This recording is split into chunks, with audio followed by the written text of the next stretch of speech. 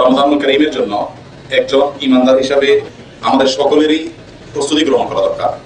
গুরুত্বপূর্ণ কোনো কাজ করার আগে যেমন প্রস্তুতি করা দরকার, সঠিক প্রস্তুতি গ্রহণ করলে সেই গুরুত্বপূর্ণ কাজটি সুন্দরভাবে আঞ্জাম দেওয়া সম্ভব হয়। ঠিক একইভাবে রমজানুল করিম ইমানদারের জীবনে সবচেয়ে বড় এক সুযোগ। সুযোগটা খুব সামান্য সময়ের সুযোগ। একবারে অল্প সময়ের অফার, সামান্য কিছু দিন এই সামান্য সুযোগটুকু কাজে লাগানোর জন্য প্রস্তুতি দরকার অনেক আগ থেকে।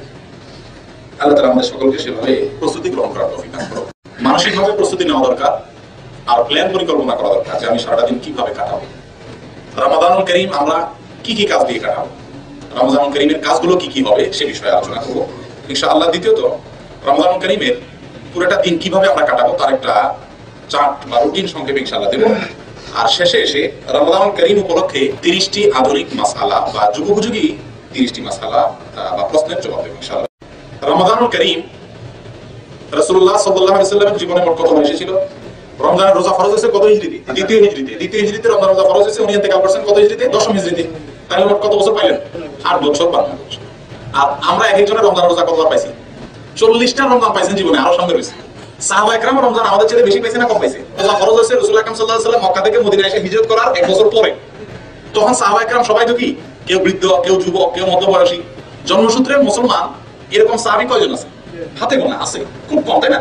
ছোট ছোট সাহাবি যারা ছোট রসুল সঙ্গে দেখছেন, ওই অবস্থা থেকে রোজা শুরু করছেন। হয়তো ওনারা আমাদের মতো পাইছেন। ম্যাক্সিমাম সাহাবিরা, বেশিরভাগ সাহাবিরা রমজান রোজা পাইছেন কয়টা?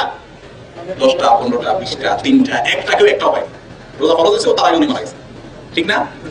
আর আমরা এক একজন, জন্মসূত্রে মুসলমান হওয়ার কারণে কতগুলো রমজান পাইছি? ওনারা অল্প সময়ে বেশি কাজ করছেন, ভালো কাজ করছেন। রমজানকে যেভাবে আদায় করা দরকার, যেভাবে পালন করা সেভাবে করছেন।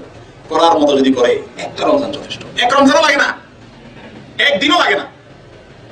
একটি মুহূর্ত একটি মিনিট যদি আল্লাহর কাছ থেকে না যাদের ফায়সালা করাই নেওয়া যায় তো সারা জিন্দগির জন্য যথেষ্ট। তাহলে মর্যাদা শুধুমাত্র বেশি সংখ্যা বেশি হলে মর্যাদা পায় না মানটা ভালো হতে হয়। কতগুলো রমজান আবাদত করার সুযোগ পেয়েছেন? দুইটা মুখ্য বিষয় নয়।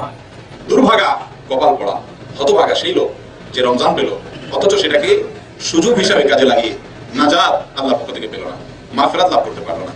সিজনের সময় ব্যবসায়ী অন্য সব কাজ একটু কম করে হলেও তার মূল কাজটাতে বেশি মনোযোগ দেয়, ঠিক না? একজন কাপড়ের দোকানদার, তার একটা সিজন আছে না? মুদি দোকানদারও একটা সিজন আছে। এখন তো কামানোর সুযোগ। এটা আমি মূল কাজটা আমার দরকারি কাজ, সেটাও একটু পিছিয়ে আমার সিজনের কামাইটা করা দরকার।